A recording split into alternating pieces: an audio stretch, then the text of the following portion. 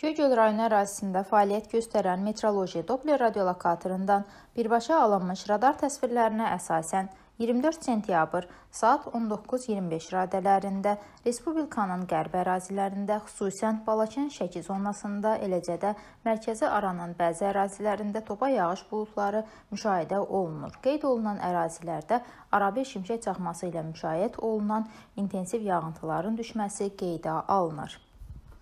Külək təsvirlərinə əsasən qeyd olunan ərazilərdə arabir güclənən qərb küləkləri müşahidə olunur.